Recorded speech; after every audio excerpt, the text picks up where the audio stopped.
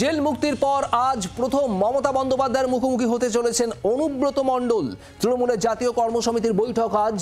আর এই বৈঠকে যোগ দিতে কলকাতায় আসছেন বীরভূমের কেষ্ট। বীরভূমের ঘর, বাড়ি থেকে রওনা দিয়ে কলকাতায় আসছেন অনুব্রত মণ্ডল। তৃণমূল কংগ্রেসের কর্মসমিতির বৈঠকে যোগ দেবেন তিনি এবং এই কর্মসমিতির বৈঠকেই মুখ্যমন্ত্রীর সঙ্গে তার সাক্ষাৎ হবে। জেল মুক্তির পর আজ প্রথম মমতার মুখোমুখি হতে চলেছেন অনুব্রত মণ্ডল। বাড়ি থেকে বেরিয়ে কলকাতার উদ্দেশ্যে রওনা দেওয়ার পথে অনুব্রত মণ্ডল ঠিক কি বলেছেন? আজ এই সাক্ষাতের বিষয়ে যখন তাকে জিজ্ঞেস করা হচ্ছিল, শোনাবো আপনাদের। ভাই দিদি গায়ে যাবে তো দিদি কাজে ভাই যাবে, অসুবিধা কি আছে?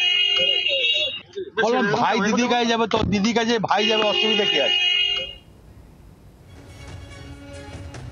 এটাই ছিল একেবারে তাৎক্ষণিক সংক্ষিপ্ত প্রতিক্রিয়া অনুব্রত মণ্ডলের। প্রসেনজিৎ মালাকাট আমাদের প্রতিনিধি রয়েছেন আমাদের সঙ্গে। প্রসেনজিৎ, আর কিছু কি বললেন অনুব্রত মণ্ডল? তার কারণ তিনি দিল্লি থেকে ফিরে আসার পর, জেল মুক্তির পর মমতা বন্দ্যোপাধ্যায়ের সঙ্গে সাক্ষাৎ হয়নি। আজ প্রথমবার মুখোমুখি হতে চলেছেন তিনি। কি খবর? দেখো, প্রথমেই তোমাকে বলি, একদিকে যেমন তুমি বললে যে অনুব্রত মণ্ডল তিনি নিজেই বাড়ি থেকে বেরোনোর সময় বললেন যে দিদির সঙ্গে ভাই দেখা করতে যাবে, এতে অসুবিধা কোথায়? অর্থাৎ তিনি কার্যত নিজের খুশি প্রকাশ করেছেন। তবে এর পাশাপাশি একটা বিষয় অত্যন্ত গুরুত্বপূর্ণ, কারণ অনুব্রত মণ্ডল ফিরে আসার পরে বীরভূম জেলার রাজনীতিতে যে পরিবর্তন ঘটেছে এবং কার্যত বলা যায় যে অনুব্রত মণ্ডলের উপর এক সময়ের শেষ কথা বলা অনুব্রত মণ্ডল এবং এখনকার অনুব্রত মণ্ডল।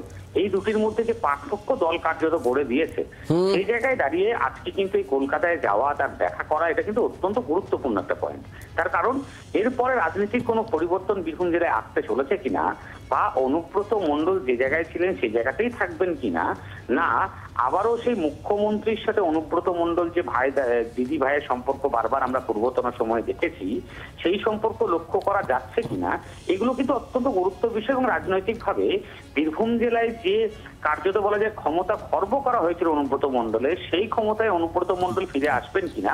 এমন নানান প্রশ্ন কিন্তু ইতিমধ্যেই উঠছে। যদিও আজকে বৈঠকে গিয়ে কতটা কি কথা হচ্ছে, কতটা দেখা হচ্ছে, কি কথা হচ্ছে, এগুলোর বিষয়ের উপরে বীরভূম জেলার রাজনৈতিক মহলে নজর তো সবসময়তেই থাকবে। তার কারণ, বীরভূম জেলায় তুমি জানো ইতিমধ্যেই কোর কমিটি এবং অনুব্রত মণ্ডল জেলা সভাপতি, এই যে দুই পার্থক্য ইতিমধ্যেই দল গড়ে তুলেছে, সেখান থেকে জায়গায় সেই জায়গায় দাঁড়িয়ে বীরভূম জেলার রাজনীতিতে আগামীর পথ চালাতে অনুব্রত মণ্ডলের ভূমিকাটি কি হতে পারে বা কি হতে চলেছে সেই নিয়ে একটা কিন্তু সন্দেহ বা একটা প্রশ্ন চিহ্ন রয়েছে ফলে আজকের বৈঠক অত্যন্ত গুরুত্বপূর্ণ এবং তার পাশাপাশি অনুব্রত মণ্ডল যিনি প্রায় আড়াই বছর পর কার্যত বলা যায় কলকাতার উদ্দেশ্যে আজকে যাচ্ছেন অর্থাৎ মুখ্যমন্ত্রীর সঙ্গে মুখোমুখি তার হতে চলেছে সেই জায়গায় দাঁড়িয়ে সে পূর্বতন রাজনৈতিক সম্পর্কের বাইরেও ভাই দিদির সম্পর্ক দেখা যায় কিনা সেটাও কিন্তু অবশ্যই দেখার বিষয়। একেবারেই। প্রসেনজিৎ আমাদের নজর থাকবে সেদিকে। ধন্যবাদ তোমাকে এবং অনুব্রত মণ্ডল আজ বাড়ি থেকে বেরোনোর পর যে সংক্ষিপ্ত প্রতিক্রিয়া দিয়েছেন এই কলকাতায় আসা আজকের এই বৈঠক উপলক্ষে মমতা বন্দ্যোপাধ্যায়ের সঙ্গে সাক্ষাৎ হতে চলেছে সেটা নিয়েই শোনাবো আপনাদের আরও একবার। বললাম ভাই দিদি গায়ে যাবে তোর দিদি কাছে ভাই যাবে অসুবিধা কি আছে?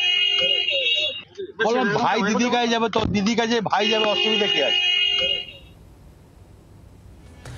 আর এ নিয়ে বিজেপি রাজ্য সভাপতি সুকান্ত মজুমদারের প্রতিক্রিয়া রয়েছে। কি বলেছেন তিনি শোনাবো।